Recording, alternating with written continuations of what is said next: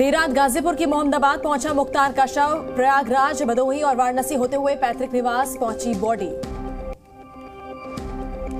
कालीबाग में आज सुपुर्द खाक होगा माफिया मुख्तार अंसारी। सुबह 10 बजे दफनाया जाएगा शव।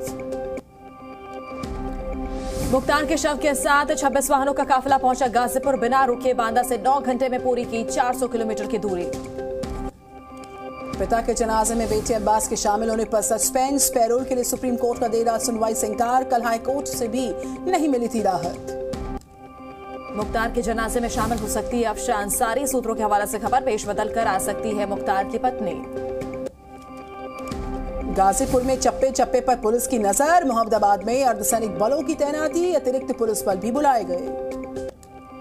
गाजीपुर में अलर्ट पर पुलिस प्रशासन, बाहरी लोगों की शहर में एंट्री पर रोक, पूरे शहर में धारा एक सौ चवालीस लागू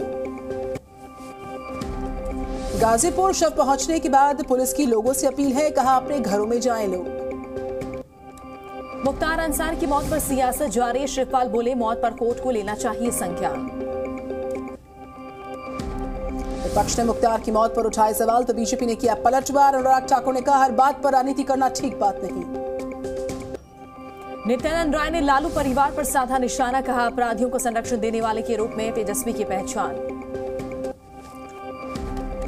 बीजेपी नेता जसवंत सैनी का अखिलेश और शिवपाल पर पलटवार का समाजवादी पार्टी के संरक्षण में पले बड़े हैं माफिया और अपराधी इसलिए मौत पर मना रहे मातम।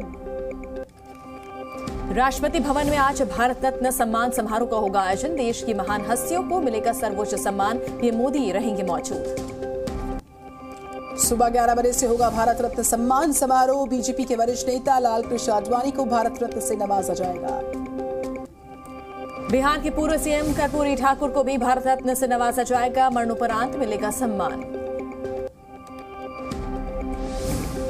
दिल्ली पहुँचे बिहार के सीएम नीतीश कुमार। भारत रत्न सम्मान समारोह में शामिल होंगे। लोकसभा चुनावों से पहले केंद्रीय एजेंसियों की कार्रवाई से विपक्ष नाराज़ आयकर विभाग के खिलाफ आज देश भर में प्रदर्शन करेगी कांग्रेस। इनकम टैक्स ने कांग्रेस को दिया एक हज़ार आठ सौ तेईस करोड़ का नोटिस। जयराम रमेश ने कार्रवाई को बताया टैक्स टेररिज्म। कांग्रेस को इनकम टैक्स का नोटिस मिलने पर बोले राहुल गांधी कहा सरकार बदलेगी तो लोकतंत्र का चीरहरण करने वालों पर होगा एक्शन। असम के सीएम हेमंत बिस्व शर्मा का कांग्रेस पर हमला, कहा गरीबों और वंचितों के कल्याण के खिलाफ कांग्रेस, इसीलिए नहीं कर रही टैक्स का भुगतान।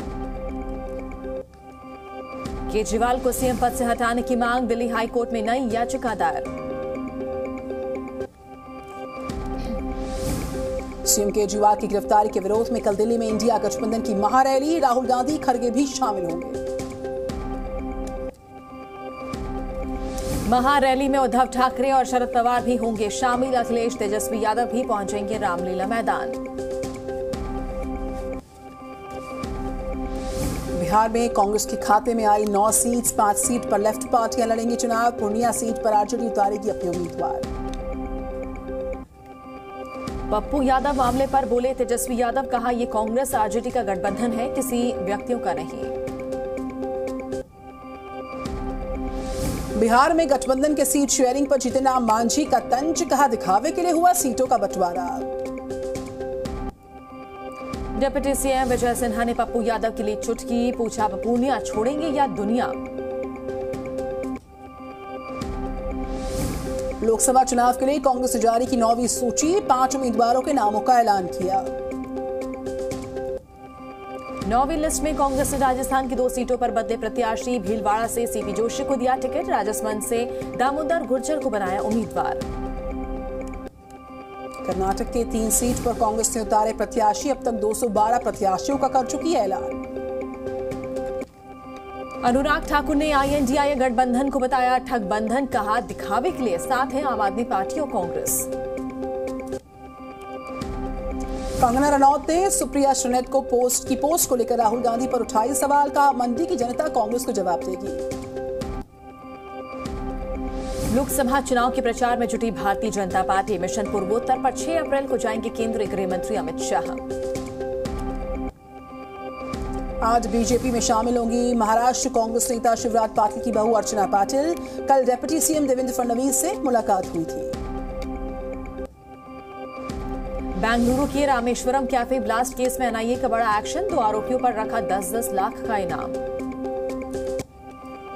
एमपी के उज्जैन में रंग पंचमी के मौके पर महाकालेश्वर मंदिर में की गई भस्म आरती महादेव के दर्शन के लिए भक्तों का हुजूम उमड़ पड़ा।